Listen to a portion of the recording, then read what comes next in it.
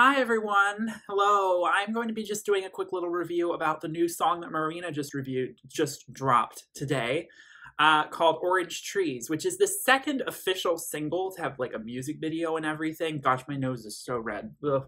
You don't want to have my nose. Oh my god. Especially in the wintertime. I digress. Uh, this song was uh, the second official song to be like released as a single. I know she released the song Superstar a couple weeks ago, and I have not talked about that song on this channel. And I wasn't actually going to talk about any more songs that she was going to release after Handmade Heaven, a song I did review on this channel, the first single because the album's only coming out in a month. So I was like, oh, I'll just wait until then.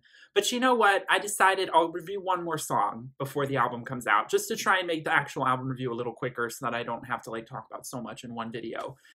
Orange Trees is a song that is all about Marina's Greek heritage. She talks about this island called Lefkada, which is where her family is from, and she has very fond memories of spending plenty of time there as a child just carefree by the ocean, letting her hair down, being underneath these beautiful fruit trees. Um, there is definitely an infectious summery beach vibe to this song, a Mediterranean quality, I would say, that comes through. It's a subtle song, actually. You know, it's not, it's easy breezy listening, I would say. It's not trying to be a heavy handed EDM breakdown type song, unlike Superstar, which is much more, you know, edgy and raw and like kind of like trying to be this big moment.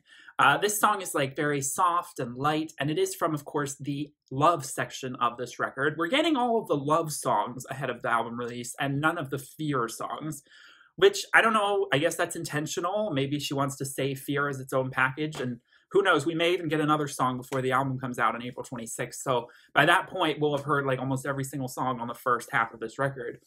But I'm not complaining. You know, her FROOT album was released incrementally. She released like a song a month at one point.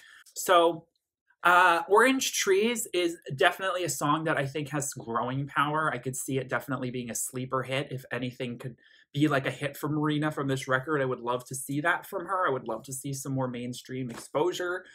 I can see the flowers and the greenery. I take a breath of air. I feel free. Spent so long, was busy chasing happiness when all I needed was a little peace important sentiment right there, I think. Stop chasing all of the neon lights. She mentions later on in one of the other verses that she was that she feels so free being so far away from the city and the hustle and bustle of it.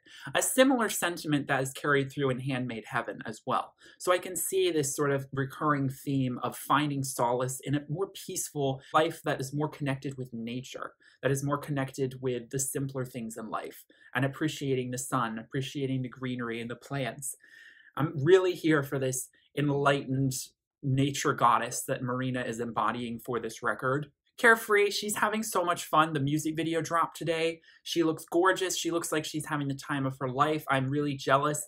It's still very much feeling like winter right now at the northern uh, United States, and I am desperate to like get warmer weather and to just like be in like a aquamarine pool and like I don't have those experiences enough in my life. Like I haven't even been in within the tropics yet. I'm not, I know it's crazy. I, I need to travel to warmer places. Like it just hasn't happened. It's quite tragic. I have been to LA. I have been to LA in the middle of December, which was quite something for me. Um, seeing like Christmas trees up, and it was like I was in a t-shirt and shorts, and it was like not a cloud in the sky. It was it was incredible. But I do need to go to like some warmer, warmer places and like feel some of that vitamin D. You know, like I need it. Uh, so this song is literally just like that. It's like that vitamin you need to take. It's like that uh, vitamin supplement um, because you know it's sweet and it's savory and it's beautiful and it's simple. I, I wouldn't necessarily go so far as saying this song is super memorable in terms of melody or construction. Um, the the bridge is like kind of nice and airy, and I feel like a little bit more of this sort of cathartic cathartic buildup but then it kind of just goes back into sort of well trodden territory. So it's not really firing on all cylinders in that department, but I don't know if this song necessarily needs that. I mean, it's a little bit more acoustic in that direction, and it is a lot more like intimate in that it's just trying to be like a fun seaside kind of song. Like it's not something to be played in the clubs. Uh, so I just wanted to give my few thoughts on that track. Um, definitely, I still think Handmade Heaven is the moment so far that we've heard on this record. Uh, but I'm very excited to hear the rest of this album. But I'm also really excited to finally hear some of the darker stuff. Um, like there's song titles like Life is Strange. I, I can't wait to hear what that song could be, or like Emotional Machine.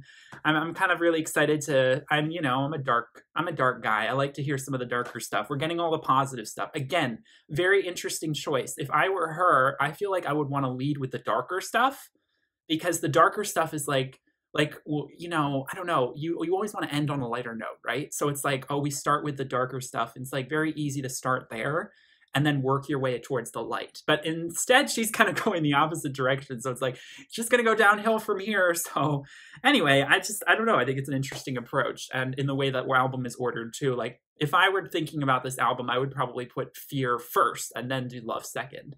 Anyway I'm sure it'll be brilliant. So I'm very excited. But like I said, I'm not going to review any more Marina songs until the album is released. So just keep that in mind if you're wanting to hear my thoughts on more Marina songs. I'm sure she's going to release at least one more song in the next few weeks before the album. So uh, thank you all so much for watching. Let me know in the comments what you think about this this song, our first real summer song, I suppose you could say. And uh, I hope to see you in the next video. Please give a like and subscribe if you enjoyed. Thanks so much. Peace, love, and light. Bye.